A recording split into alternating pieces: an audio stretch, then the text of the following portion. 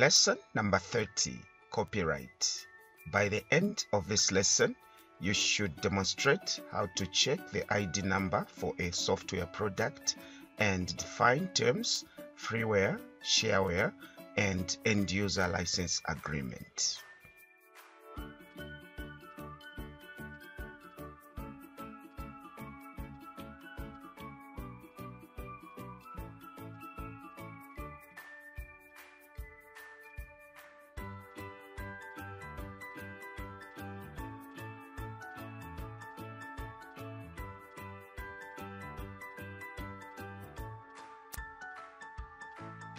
Mr. Kariando spent five years building a healthcare system software.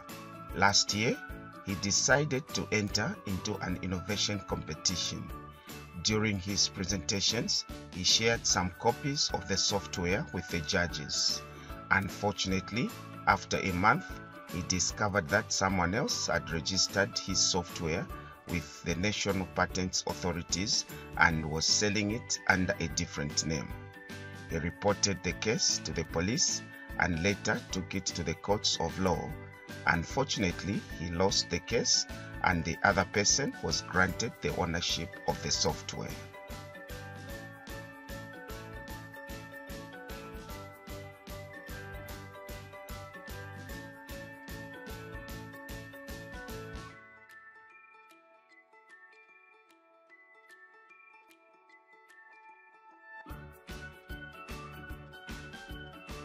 Why do you think Mr. Kalyandu, the rightful owner of the software, lost the case in the courts of law?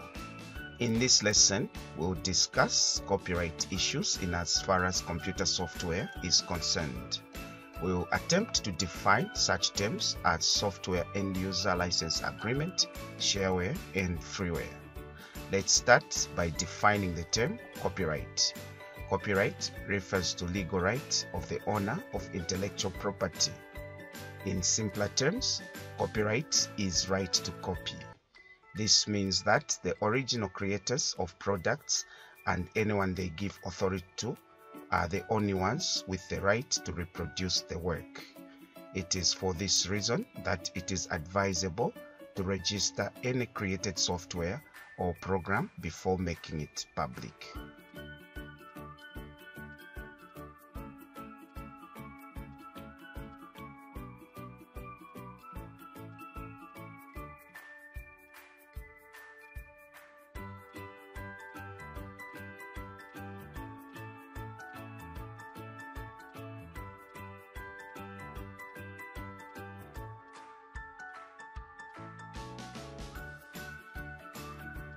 Most computer software come with product identification numbers. This means that if you buy a computer software and you want to access all its functions, you need to activate it by entering the product ID number during installation. After entering the product ID number, the producers of the software will send an installation ID number, which will activate the software. Note that the installation ID number identifies the computer on which the software is installed. It is for this reason that a single license software can't be installed on multiple computers.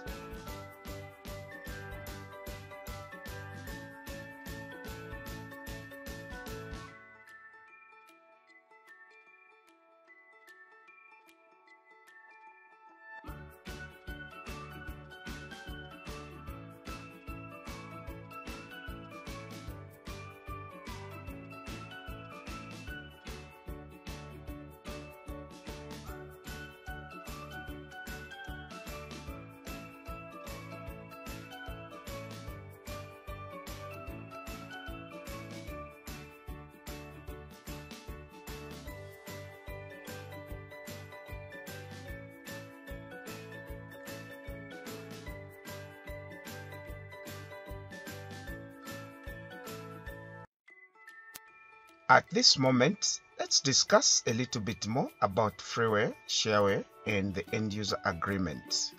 A freeware is a software that is distributed at no monetary cost to the end user. In other words, it is a copyrighted software, application, or program that may be freely downloaded, installed, used, and shared.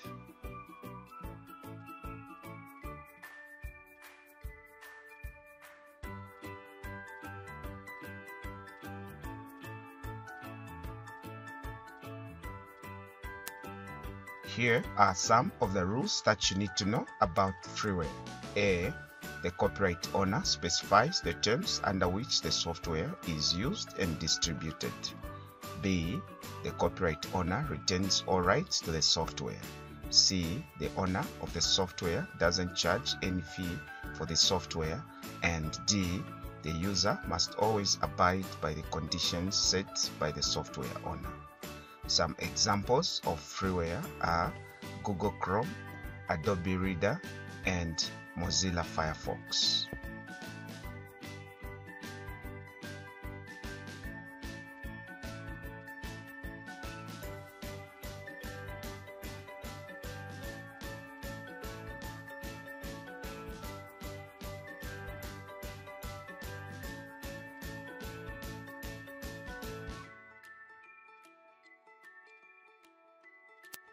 Apart from freeware, there are also shareware versions of software.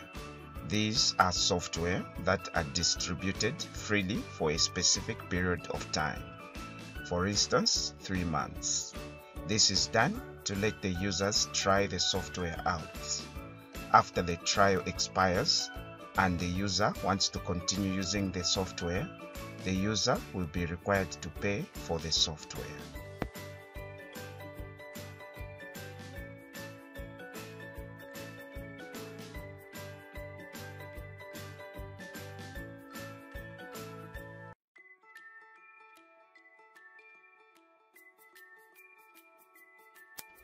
Having discussed freeware and shareware versions of software, let's now look at the End User License Agreement EULA. The End User License Agreement is simply the agreement that describes conditions that pertains to what should be done if the software is resold, how many backups of the software should be made, and how many times the software should be installed on computer systems.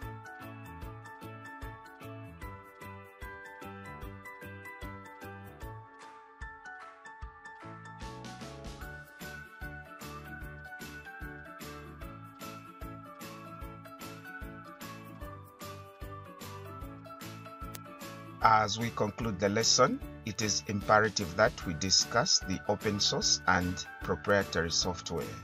An open source software is a computer software that is released under a license in which the copyright holder grants users the rights to use, study, change, and distribute the software and its source code to anyone and for any purpose. Open software may be developed in a collaborative public manner. The best examples of open source software are Mozilla Firefox, Linux operating system, and Python programming software. Note that there are no restrictions from the copyright holder on this type of software. In most cases, this type of software is available on the internet and can be downloaded at any given time by the user.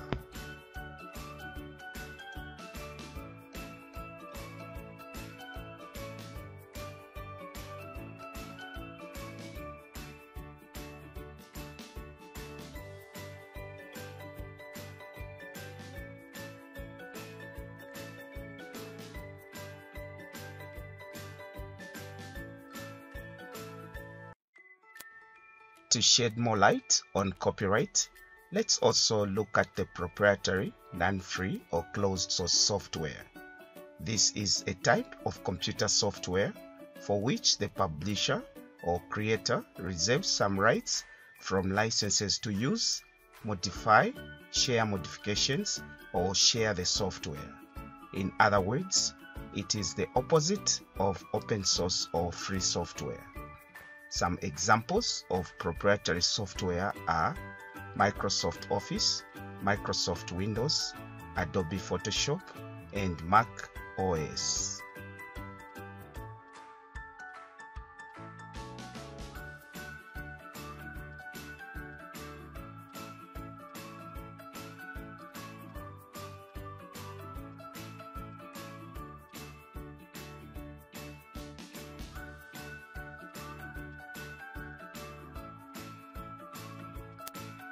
Summary In this lesson, you learned that there are different types of software licenses.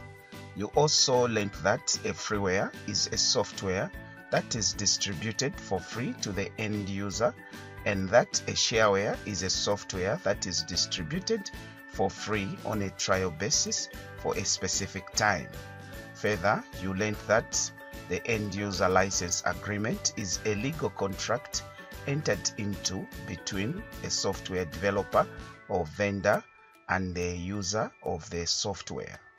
It outlines how the software should be used, redistributed, and how many times it should be installed on computer systems. Lastly, you learned that some examples of open source software are Linux OS, Mozilla Firefox, and Python programming software, while Microsoft Office, Adobe Photoshop, and Mac OS are proprietary software.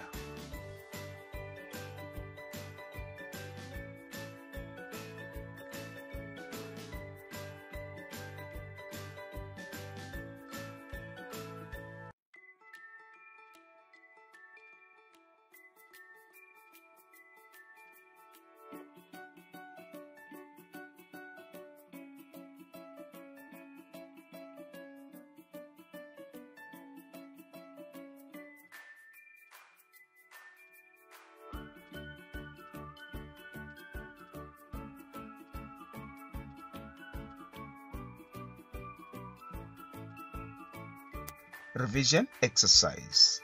A. Define the following terms freeware, shareware, end user license agreement. B. Explain the importance of product ID and copyright. C. Give three examples of each of the following proprietary software, open source software.